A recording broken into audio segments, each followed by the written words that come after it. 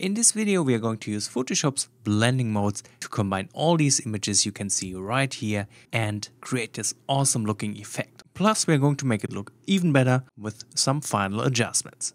As always I will be showing the whole editing process from start to finish. So if you're just here for the tutorial part, make sure to check the chapters of the video. Otherwise you can find the raw file to follow along in the description of the video. And now let's begin.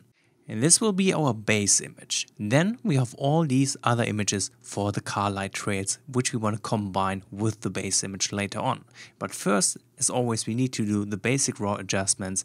And I'm just focusing on our main image right here. This will just be the base for everything. So right away, I'm going to change the profile to Adobe Standard just to lessen the overall contrast. And this gives me more control over the contrast. Then let's expand the lights panel Whenever I combine car light trails with the base image, I want to make sure the base image is a little bit darker, even a bit too dark for a normal image. So I'm going to start this by bringing down the exposure.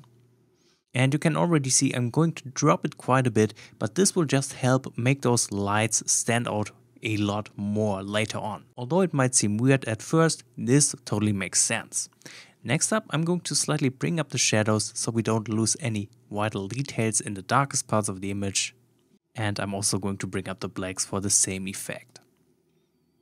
I do think we are still lacking a little bit of contrast, so to fix that I'm going to bring up the whites. This will also help making the image look a bit brighter again, but I think we do have a good balance with the exposure at the moment. So that's looking great. One thing we can notice after these tonal adjustments is the image looks super, super cold. Now usually I would be okay with that, but since we are going to add some color trails in the foreground, I also want this whole image to be a little bit warmer, especially in the sky. Mm, so we can open up the color tab and here we can adjust the white balance. I'm going to bring up the temperature which will reduce the blue color cast and make everything look warm. As you can see, I'm going to raise it a lot, which is not something I usually do, but for this image, it's perfect. I'm not going to change the tint. I think the tint looks good so far, but what I'm going to do is to add a bit of vibrance, maybe like this. I'm also going to bring up the saturation just to give those colors some more punch, and that's looking good. Then let's also go through the effects tab real quick. I want to bring up the texture, making the shot look a bit sharper I'm also going to bring up the clarity and at the same time I'm going to bring down the dehaze applying some kind of soft look overall.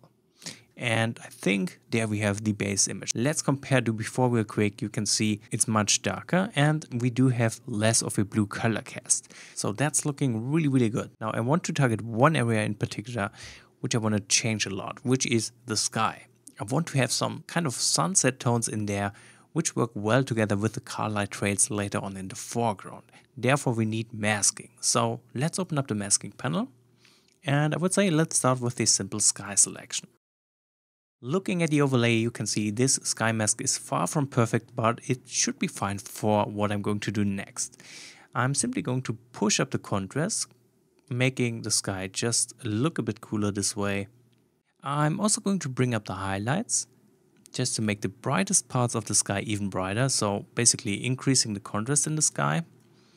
I'm going to drop the shadows again just for the contrast. Then let's also increase the clarity, making the clouds pop a little more. So like this. And I think I'm going to bring up the whites, further pushing the contrast. So far it's looking quite good, but we're missing those sunset colors. What we can do for that, we can work with the white balance slider. So I'm going to bring up the temperature a little bit. And I'm also going to bring up the tint. Still, the sunset colors are not there yet. That's because I only want the bottom of the sky to have these sunset colors, not the top. So I need to make more masks to achieve that effect. So next up, let me create another sky selection. This time I want to only affect the top part of it. So I'm going to subtract a linear gradient, taking out everything from the bottom. And I want to make the top part a little bit darker. So let's bring down the exposure. So that's looking awesome. I'm also going to bring down the temperature in this case because I want the darker part of the sky to be colder. So I'm going to drop it quite a lot.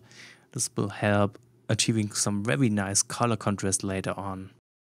Then we can do the opposite. So let me start with another sky selection. And with this sky selection, we're going to target the bottom part. So I'm subtracting another linear gradient, this time taking out everything from the top, targeting only those very bright areas. I want the brighter areas to feel warmer, so that's a perfect mask here. So in here, I'm going to further push the whites, just making these brighter areas brighter.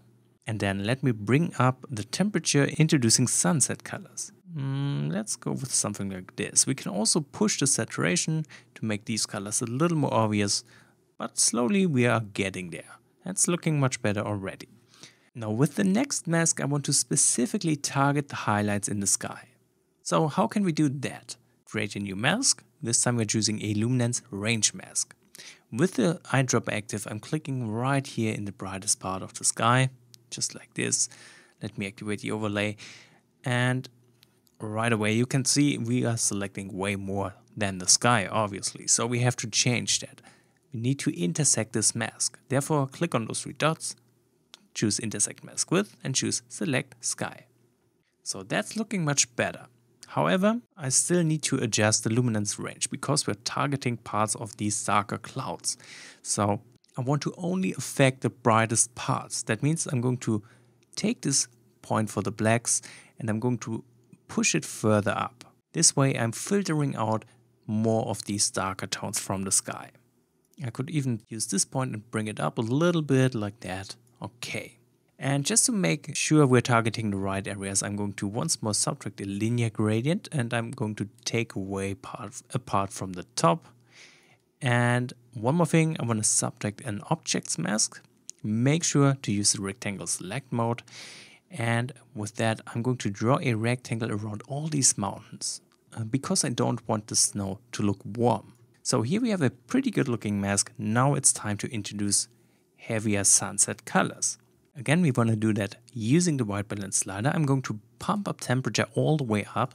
I'm also going to pump up the saturation and I want to use this color box right here, adding a specific color tone to this area of the sky. So I want to set up the hue to something in the red color range, and I'm going to bring up the saturation some more. So that's looking great. And I would say that's it for the sky. Now I also want to work on the landscape for a second. So let me create one more sky mask. I'm just going to invert this mask to create a selection for the landscape. And I'm going to bring up the contrast just a little bit I'm also going to bring up the whites, which will especially make the snowy patches brighter. And let me bring down the temperature, making all of that landscape a little bit colder, which again helps to create some nice color contrast. And I'm going to bring down the saturation a bit, because I don't want the landscape to be that vibrant. Okay, that's looking great. Let me show you this image without masks and with masks applied. So especially in the sky you can see it's looking much much better. We can go over the color grading real quick before we can start with the cool stuff. So let's head out of the masking panel and we want to go ahead open up the color mixer. I want to work on the hue for a moment. What I want to do is to bring up the green hue because that hill on the right side looks a bit too yellowish. I'm also going to drop the blue hue which just gives the sky a really nice color tone in my opinion. That's it for the hue. Let's head over into the saturation tab. I want to bring up the orange tones, which will mainly affect the sky. Same goes for the yellow tones. And I'm going to bring down the green tones for that mountain on the right side. And let's bring up the blue tones as well. Beautiful. We can also check out the luminance tab for a second. I can bring up the yellow luminance, just making the sky a little brighter. And let's maybe even raise the blue luminance a bit. Okay, then we do have the split toning in the color grading panel. We can further enhance those sunset colors, so let's start with the highlights, which should be mainly covered in those sunset tones. So I'm going to set up the hue, again I'm using a warmer color tone and I'm just pumping up the saturation to have this nice effect up in the sky.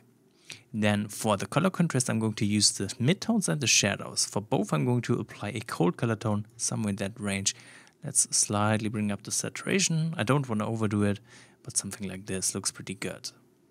Let's do the same for the shadows, set up the hue and bring up the saturation a bit. Okay. If you want, you could also use the global color wheel. I think I'm going to give it a try. I'm going to set up the hue to a warm color tone and just very gently bring up the saturation here. I think that looks much, much better. Okay, let me deactivate the split toning for a second to see the difference from before to after. And you can see this helps quite a bit. Now, one more thing in regards of the color grading. Of course, I'm going to head down into the calibration tab, which I always do for my images because I just love this effect. I'm going to bring down the blue primary hue. This will nicely shift the blue colors and the warmer colors in the image. And I'm going to pump up the saturation once more. Alright, beautiful. So that's it for the raw adjustments for our base image. Now what about the color trail images? Here it's mainly about the color trails. We can ignore everything else. And what we can see at the moment, these color trails are kind of looking a bit too cold. I want to make them look warmer so they are fitting better with the sunset colors of the sky of our base image. So what I need to do in here is to go into the color tab and I'm going to bring up the temperature. I'm going to raise it a lot actually, so I think that's looking pretty good. I might want to bring up the vibrance a bit and the saturation just to make those look a little more colorful and we can make these a bit brighter by bringing up the whites. Just make sure to not go too bright otherwise we're losing details in those bright areas because they are clipping. We could bring up the shadows a little bit, just need to make sure the road itself doesn't become brighter than it is in our base image. Let's see, maybe bring up the exposure as well, but I think that's looking fine. Now we need to copy these settings to all the other color trail images. I'm going to hold down the shift key, select the last one in the film strip down below, right click, synchronize settings, make sure to check all, and hit OK. And now with all the raw adjustments for all these images done, we can open them up in Photoshop. I'm going to select all of them and just click open. So here we have our base image. I know there are better ways to do that, but that's just what I'm going to do. I'm going to copy over all those car light trail images. So with the first one, I'm going to hit Control A, which will select everything. Then I'm hitting Control C to copy the selection. Go to the base image and hit Control V, and you can see the image being inserted into our layer panel right here above our base image. And that's just what I do with all the other images. Alright, here we have all images stacked on top of each other. Now we need to work with blending modes. First off, let's deactivate all those color trail images. Then select the first one, we can activate this one, go into the blending modes, and here we can choose lighten or screen or color dodge depending on what you want. I want to go with lighten. Everything looks nicely merged, but once I deactivate this layer, you can see there are areas that don't belong in the final image especially up there in the sky. We need to mask them out. The way I do it is I'm going to create a black layer mask on the first car light trail layer. Therefore I'm holding down the Alt key while clicking on the layer mask icon down here. Then I'm going to grab the brush by pressing B, set the foreground color to white, and with the brush I'm now just painting over the road right here, revealing the car light trail. Just like that. Okay, beautiful. And that's how we can merge all those layers. So again, let's go to the second one. Activate it, change the blending mode to lighten, add a black layer mask, and again brush over the road, revealing all those lights. And I just keep doing the same thing for all remaining layers. And just like that, we have merged everything. That shot is looking so much better thanks to these car light trails but we can further enhance this image. Let me group all the color trail layers. I'm selecting all of them and let me click on that folder icon. This way the layers panel is nicely cleaned up. Now we can make them a little bit brighter. I'm going to create a new adjustment layer and here I'm choosing curves. I want this curves layer to only affect the color trails below it, not the base image.